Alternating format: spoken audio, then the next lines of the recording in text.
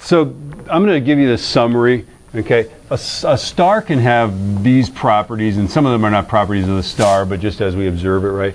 Um, we could talk about the size of the star, right? And and as you as you might guess, a bigger star, right? If everything else stays the same, if you just increase the size of the star, then you've got more surface area, right? And so increasing it gives more surface area, therefore making the size go up, right? Increases the brightness. Right, so you have two stars, everything's the same, the temperature is the same, all this stuff, right? Okay. If you if one's bigger and one's smaller, the bigger one is going to be brighter. Okay. Um, as far as temperature goes, right? If you increase the temperature, any guesses? Brightness is going to. Increase. Yeah, it's going to increase, right? Okay. Brightness increases. What else can we know about the star? The size, the temperature. I guess we can have the distance to us. Right? How far away the star is? Well, if we increase the distance to the star, what happens to the brightness? Yeah, the brightness goes down, right? Okay. So when we look at a star in the night sky, the how bright it appears to be, its apparent magnitude or apparent brightness, either one, right? is a factor of the size of the star, the temperature of the star, and the distance that that star is to us, right? Now, if we could somehow figure out its intrinsic brightness, that is, its size and its temperature, right? This, by the way, corresponds to like a, like a 100 watt light bulb, right? All of those are intrinsically pretty much the same brightness, right?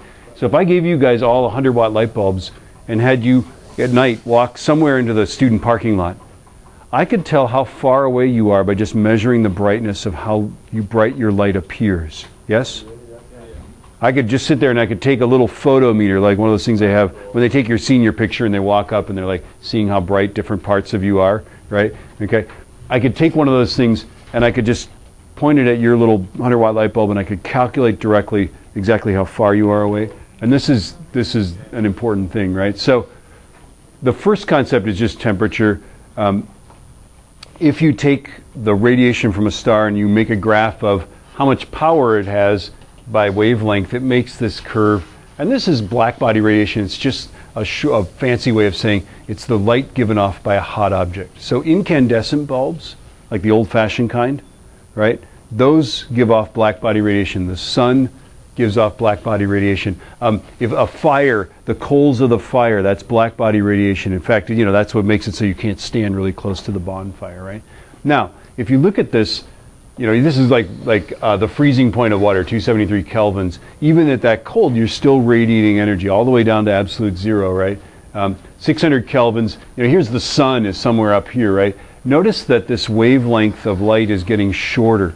Well, short wavelengths are high frequencies. Those are like the blue colors.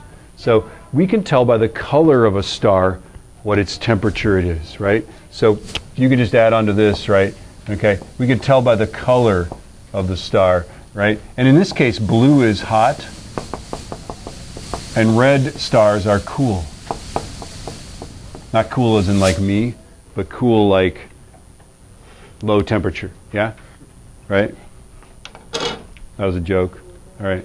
Um, the second thing is that if we know the size of the star, right, and I'm just going to throw this formula out here, we're not actually going to calculate with this, but if you knew the size of the star, right, so the surface area of this is generally 4 pi r squared for a sphere, stars are spheres, right, and you knew some fundamental constant, right, okay, and you have the temperature, notice that the it's like temperature to the fourth. So if you double the temperature of a star, what do you do to its luminosity? Well, 2 to the fourth is, is it 16 times? I'm thinking it is, right? Okay, so it actually gets 16 times as bright, right? So higher temperatures are higher brightness. That's the point here, right? Intrinsically, they put off more energy. Just hit the right arrow, right? So area, bigger area or bigger size is brighter, hotter is brighter and bluer, right? This is our concept, right? Okay, and then there's the inverse square law. Now we're getting, we're talking about distance right? Okay? And there's something called apparent brightness, and this is where physics ends and astronomy begins. We talk about this thing is the luminosity, I don't know if you noticed, was in watts, right? Okay? So, so the brightness is the actual luminosity. So basically, like our sun is something like times 10 to the 26th watt. It's like a big light bulb, right? Okay. And then we just divide that by 4 pi d squared, right? And basically, what we've done is we've taken all of that energy and we spread it out on, a, on the surface of a sphere, right? Like this, right? So here's the little star. Here's the surface of the sphere, right? And then you can see this diagram is, I think it shows it pretty well that if you're one unit away, you know, just I don't know, maybe an astronomical unit or something, right? Then there's one little square, and then if you get twice as far away, there's well, you double that dimension, but doubled squared is four times, right? So it's inverse square. Here, that same energy is spread over nine. Here, it's over four. Here, it's over one, right? And that's where the inverse square. Whenever you have three-dimensional geometry like this and a point source, it spreads out over a square, and that's why it's an inverse square law, right? So that's this concept right here right, is that the farther away it is, the less bright it gets. And it's an inverse square, so if you double the distance, you only get a quarter the watts per square meter. Yeah, go for it. Okay. And then if you ever go into astronomy, they never talk about watts per square meter, right? They never talk about this. They always talk about apparent magnitudes. So there is this scale, right? And there's a logarithmic scale where they map these things onto a scale and I can't remember what it is. I think it's like uh, it's like 2.5 log brightness over something, right, like this. Anyway, but it's a logarithmic scale, and they the cool thing about this is that this logarithmic scale is how people perceive stars. Now, why they made it so crazy, I don't know why, right? So the faint things are actually big positive numbers. Bright things like the sun is a negative number, right? Zero is the brightness of an ordinary bright star. Okay? Well, okay, Sirius, right? So, so if you look at this thing, the sun is, of course, the brightest object in the sky, right? The next brightest thing is the full moon, which, if you ever have a big telescope and you look at the full moon, it's actually too bright. The full moon is too bright for like an eight inch telescope. You're like, ooh, I need sunglasses for this, right? Because one of the jobs of a one of the jobs of a telescope is to concentrate the light, gather light, right?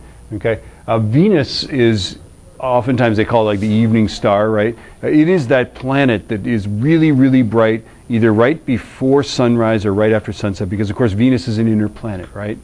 Okay, so you're always going to see it near the sun. You're never going to see it in the middle of the night sky at midnight, right? Because that would mean it's in opposition to us, right? So Venus, Venus is one of these guys, right? Here's Venus's orbit. Here's our orbit. Here's the sun. We're always going to see it in the same part of the sky as the sun either right before or right after sunset, right? Um, the story is that there was a, there's a, a landing strip in I think one of the Hawaiian Islands or something like that that has cleared Venus to land on their east-west runway, and they keep track of how many times they do it, right? Because it, it's that bright one. It looks like an airplane with its air with its landing lights on, right? I mean, honest to God, you're like, what is that airplane doing? And then you look up there an hour later, and it's still there, right? So the, the people, the controllers at this airport, have actually cleared it to land like 47 times. Unidentified 059er, you are cleared to land on East West Runway number one by, I don't know, it's kind of a funny story. Um, Sirius is the brightest star in the, in the sky. Uh, the next brightest star is Canopus, but that's a whole other canopies. Okay? You can see with the naked eye, if you take all the clothes off your eye, Okay, um, you can see all the way up to a plus six. So these are faint stars. Plus six is the faintest star. You can't see that in, of course, you know, downtown uh, Tualatin because of all the big bright lights of all the big buildings in Tualatin, right?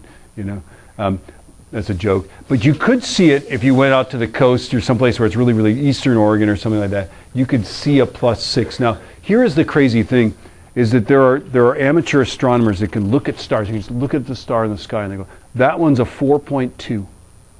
And they know not only what the magnitude is, but they know the decimal. And they're within like a decimal point of that, right? And the reason they can do that is that there are certain standard stars that, every, that these amateur astronomers have observed, and they can look and they can say, okay, that star is a 4.0. I know that star. I can find it easily. It's a 4.0. This star is a little bit dimmer, so it's a 4.1, right?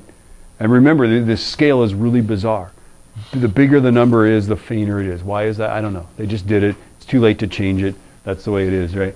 Okay. But there are people that can look at stars because stars, there are some stars that vary in their brightness.